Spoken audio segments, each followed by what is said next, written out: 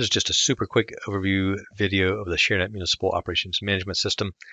Uh, give you a quick idea of what kind of capabilities we have. Uh, one aspect is our uh, mobile app.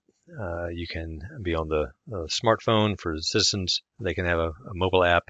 They can select the categories, the location, take pictures, you know, put their contact information in and submit that in. Here's an example of a, a trash pickup uh, request that came in and we have a workflow system that can automatically route uh, different things for different based on different categories to different groups or users. And while we're here, just a lot of flexibility in the ShareNet platform. Uh, easily add custom fields and list views, these record lists, forms. There's a drag and drop form designer, email templates to communicate exactly what you're wanting. Um, and regarding forms, these are just kind of some samples of the kind of forms you can have set up. You know, should, mainly it's a work order form in Public Works, but there could be uh, stormwater inspections, there could be code enforcement inspections, insurance claims, a lot of capabilities uh, there. So let's just go out to the mobile device as a staff member, and we'll go to request. We can see all the open requests. We can either add a request and we can use the GPS of the smartphone device, smartphone or tablet, or here we'll just go ahead and add a tap on the map and then we can see the, the open work orders here and I'll tap on a water main, see that water main, the, the details, and if I want to close it out, I can just simply uh, change the status to closed. And then if I want to add labor hours, I've already added one. Um, you can just plus to add labor hours inventory, you can capture the equipment hours and the cost and the materials used. Again, just uh, plus to add those uh, really easy. In seconds, you can capture the, the cost information of the work order.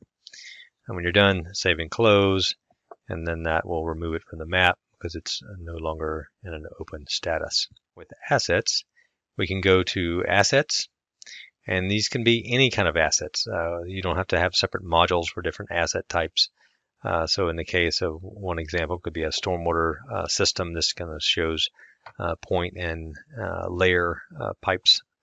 So here we've got the stormwater system around this particular lake, and I can add a, a pipe segment layer on there, and then now I can click on a pipe segment, either add a work order to fix that pipe segment, or open the asset up and see the history.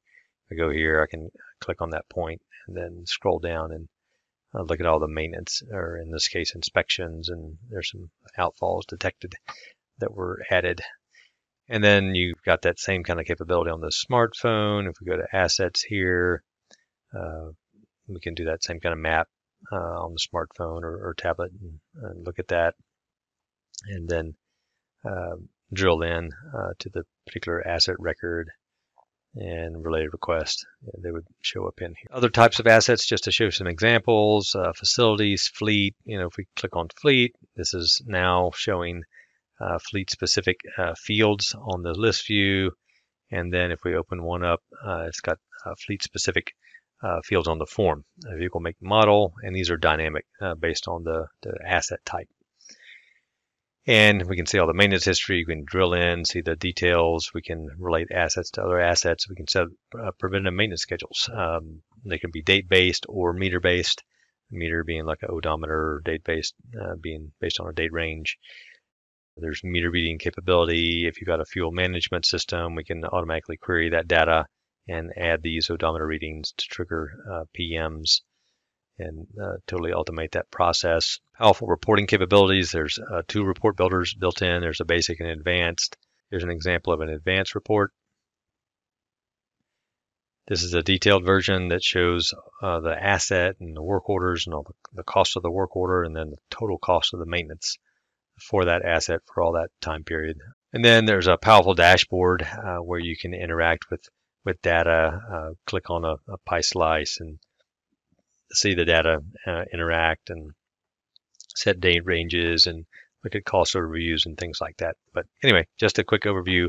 Love to uh, show you a demo. Uh, reach out to us and see if we can get that scheduled.